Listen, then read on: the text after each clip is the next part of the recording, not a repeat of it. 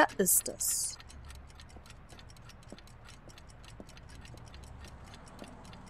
Hier, bitteschön. Moment. Hier, bitteschön. Danke. Mal sehen, was dieser Umschlag so zu erzählen hat. Eine Royal 5. Die Form der Ts und der Fs ist typisch für das Modell.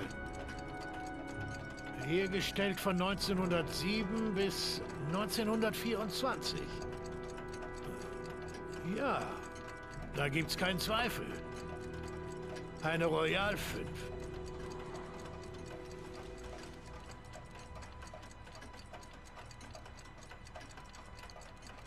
Ist das ein seltenes Modell? Nein, eigentlich nicht.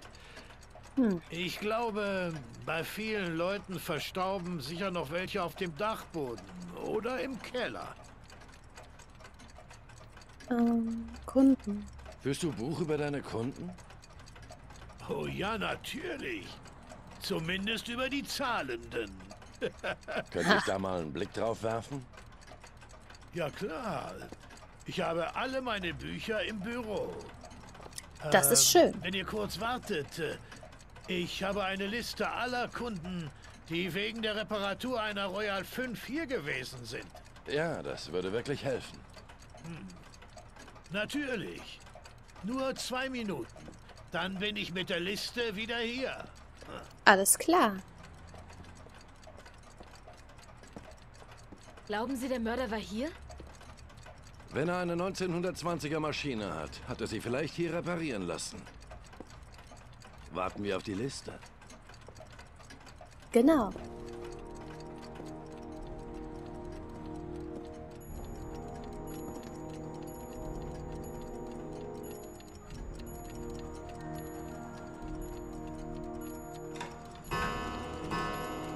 Jetzt gehen die Uhren auch noch los.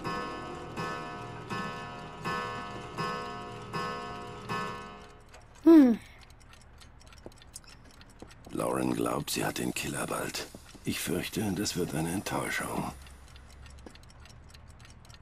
Der Name des Mörders könnte in Manfreds Büchern stehen.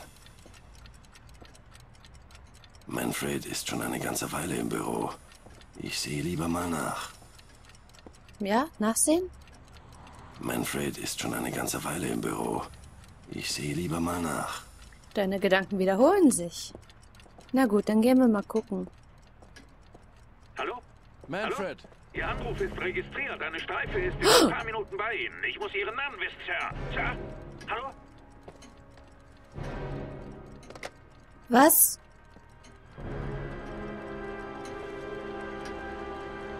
Oh mein Gott, er wurde ermordet. Oh mein Gott. Er ist tot. Oh mein Verdammt. Gott. Oh verdammt. Und wir waren hier. Armer alter Mann. So ein Ende hat er nicht verdient. Das Fenster ist auf.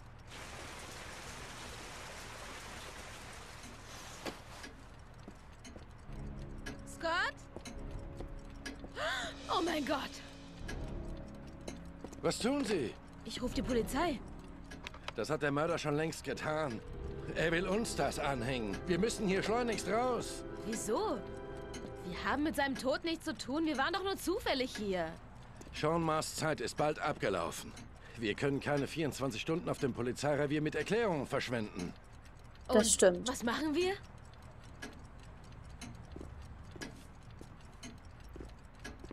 Überleg, überleg. Sie passen auf. Und ich verwische überall unsere Fingerabdrücke. Es muss schnell gehen. Die Polizei wird jede Minute hier sein. Oh Gott, wo waren wir denn überall dran? Ähm, wir waren an ihm dran. Aber das ist ja das Telefon. Da.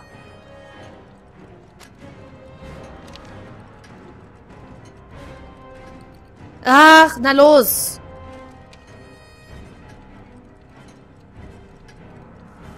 Gut. Telefon sauber. Dann waren wir am Fenster.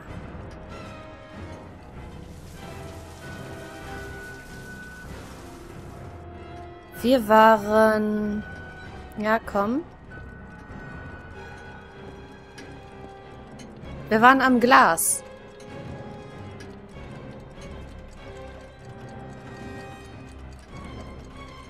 An der Flasche glaube ich nicht. Da war nur der Typ selber dran. Aber Lauren war noch an dem Glas. Okay. Dann die Lupe, die Lupe, die Lupe, die Lupe.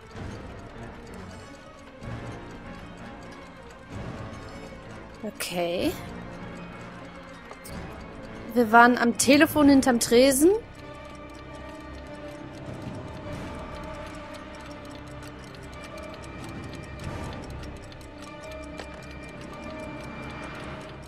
Und Lauren war noch an so einer Spielfigur dran. Und zwar hier vorne. Okay. Und natürlich die, die äh, Türklinken vom Laden. Das wäre, glaube ich, das Wichtigste. Gott, wie lange dauert das denn noch? Die Polizei kommt jeden Moment. Ich hab's gleich. Okay. Äh, dann lass uns gehen. Das war's. Fertig. Sind alle weg? Äh, ich denke schon.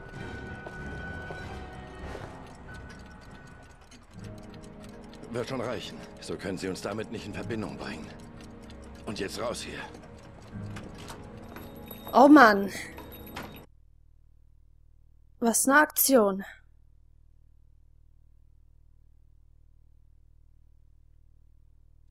Ich hoffe, wir haben alles weggewischt. Also, das Opfer wurde ermordet, als Sie im Laden waren. Richtig? Ja, er wollte im Büro etwas holen. Ein paar Minuten später habe ich nach ihm gesehen und da war er schon tot.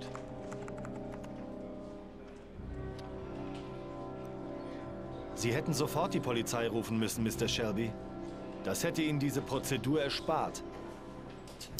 Ja. Wir hatten mit dem Mord nichts zu tun. Wir waren nur zufällig dort. Ich hatte einfach nur keine Lust, einem Polizisten lang und breit meine Unschuld zu erklären. Wie dem auch sei, Mr. Shelby, bleiben Sie in der Stadt. Und wenn Sie das nächste Mal eine Leiche finden, rufen Sie uns an. Okay? Okay.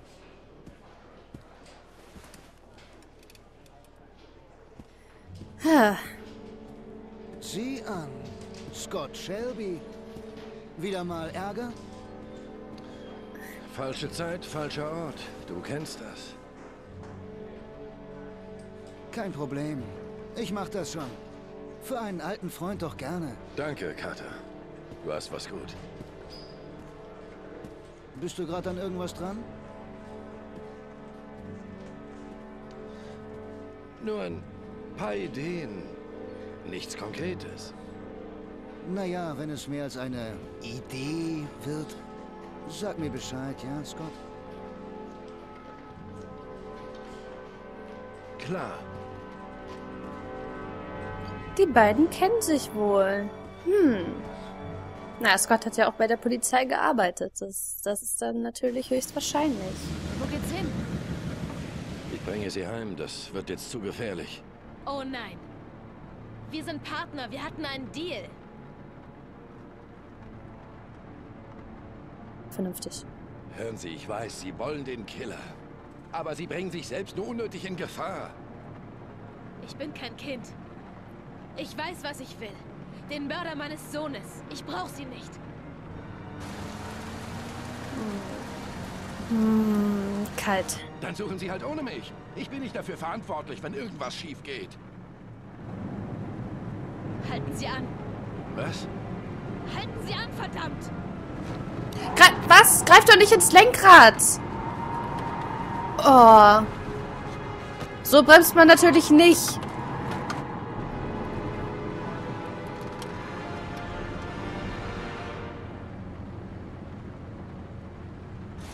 Wenn Sie mir nicht helfen, den Mistkerl zu finden, dann mache ich es alleine. Oh Mann, oh Mann, oh Mann.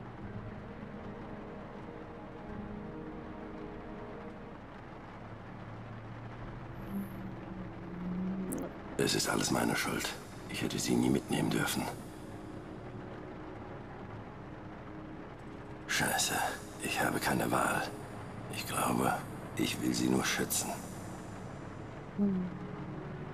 Das Mädchen ist stur wie ein Esel. Sie bleibt dran, ob mit mir oder ohne mich. Ich bin ein Idiot. Ich laufe ihr lieber nach. Und zu guter Letzt Verständnis. Ich kann sie nicht so zurücklassen. Sie würde alles tun, um den Mörder ihres Sohnes zu finden.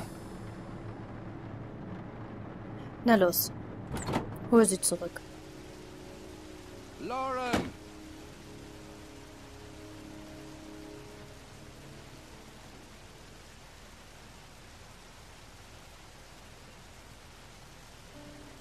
Er fehlt mir.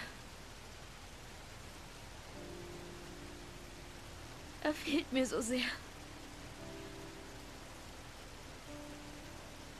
Ich würde alles tun, um ihn wieder in meinen Armen zu halten.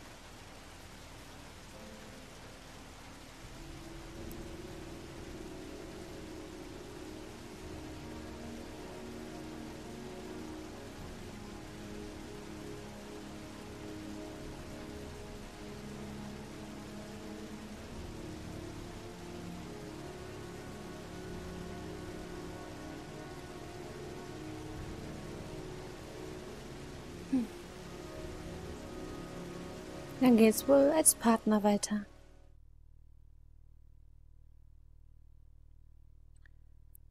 Wir haben einen neuen Bonus und wir spielen weiter mit Ethan. Ethan Mars. Ein verzweifelter Vater.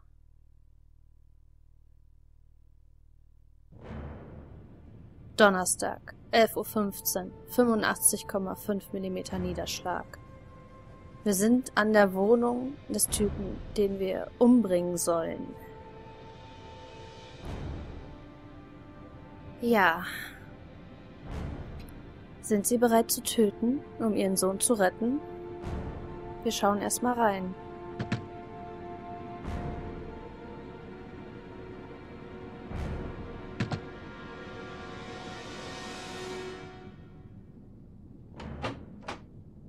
Ja, was willst du denn?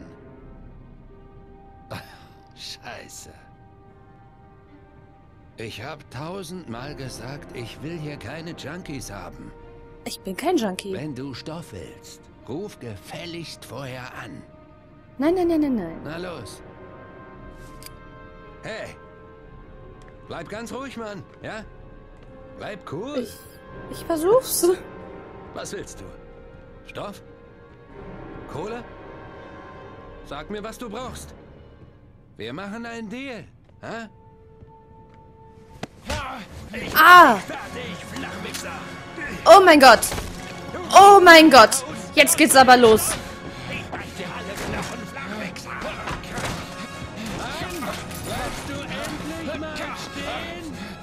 Oh. Nein.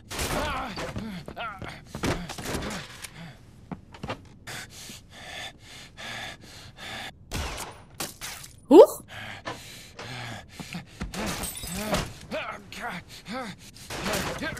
Oh Mann. Hier geht's richtig rund, Leute. Ich kann dich hören, Kumpel. Boah.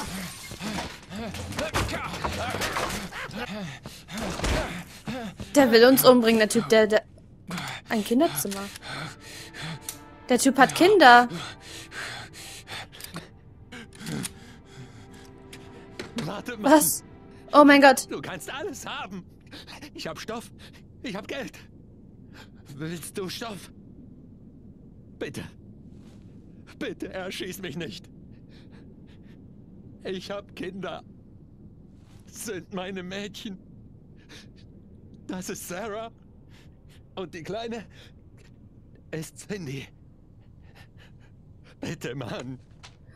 Mann, ich will sie wiedersehen. Bitte. Bitte Okay. schießen. Wow. Ähm. Ja. Stopp. Pause. Also, jetzt müssen wir mal überlegen. Ich, ich bin ja schon wieder total aufgewühlt, weil das hier schon wieder so eine hektische Hin- und Herjagd war und alles, oh, das ist alles so aufregend. Ähm, ja, der Typ hat eine Familie. Er hat kleine Kinder. Zwei Stück davon. Auf der anderen Seite ist er ein Drogendealer. Hm. Und vor allem sind wir selbst bereit. Ist Ethan bereit, wirklich einen Menschen zu töten, ein Mörder zu werden, wenn er nicht schon einer ist, laut den Verdächtigungen der Polizei? Ähm, können wir uns das jemals verzeihen? Also ich, ich weiß nicht, also nicht verzeihen. Ähm, können wir diese Schuld, diese Last des, den Rest des Lebens auf uns tragen? Natürlich wollen wir unseren Sohn retten, das ist klar. Aber müssen wir dafür diesen Mann umbringen? Wollen wir zwei kleinen Mädchen den Vater nehmen? Wir haben schon einige Buchstaben. Das haben wir. Hm. Als ich das Spiel das erste Mal gespielt habe, habe ich den Typen umgelegt. Ich würde gerne das andere versuchen, aber ich möchte auch erst eure Meinung wissen. Schaut nochmal in die Spielregeln, entscheidet euch dann oder schreibt mir eure Meinung dazu in den Kommentaren. Das würde mich jetzt sehr interessieren. Gut, dann machen wir hier nächstes Mal weiter, bis ihr euch entschieden habt und bis dann. Bis zum nächsten Mal bei Heavy Rain.